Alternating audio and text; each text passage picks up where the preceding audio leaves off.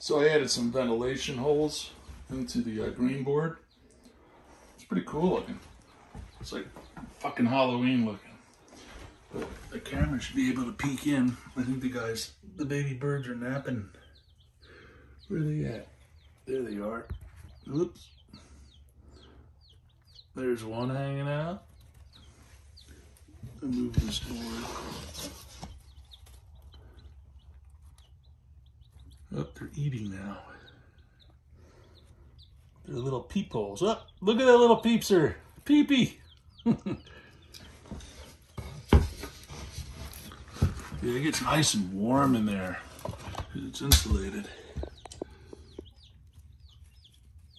She's getting some probiotic water.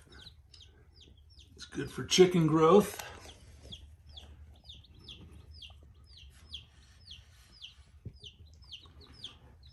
Somebody's chirping away in there.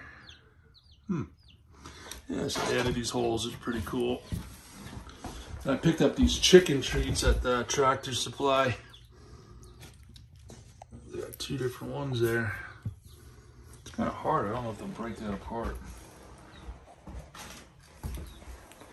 Yeah, so I'm literally, I got to keep these uh, baby chicks separated from the hens for whew, at least two months until they grow.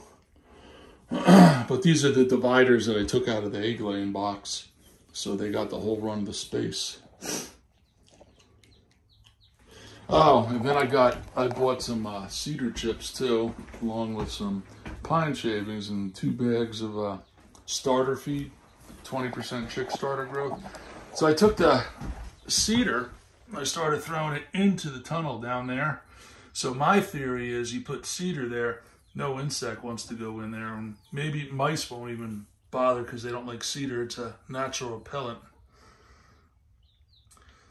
So works pretty good. And I put all new, I uh, got two bales, three bales of straw today, so I put that in the hen pen because hen's feet were all muddy, muddy, so when they were coming in here, they were trucking mud.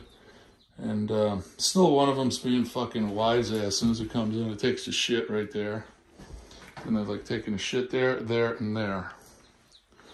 So I'm trying to come to my senses like, don't worry about the floor. You don't have to come out here with a fucking mop and as much as I'd like to keep the floor looking brand new, but it's a hen house.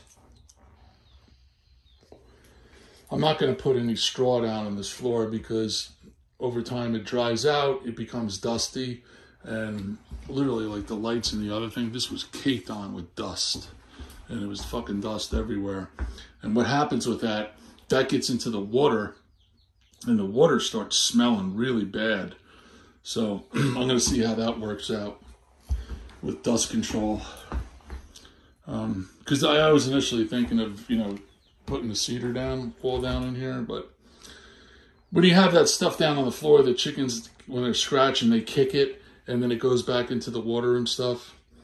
And what I do daily is, though, a couple times a day, when they eat, they mess, they get the mess, the stuff all over the floor.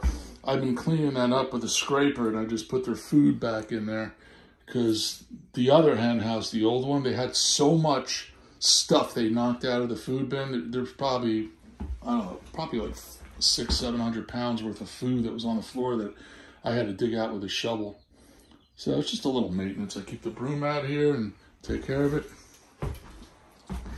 And this uh, egg box works perfect for fucking little chicks. Put a light in there, heat lamp, it's very warm there. I got to bring my laser gun out here and see uh, what the temp is. supposed to keep them at 82 degrees. They're day old, so that's the hen house. I think uh,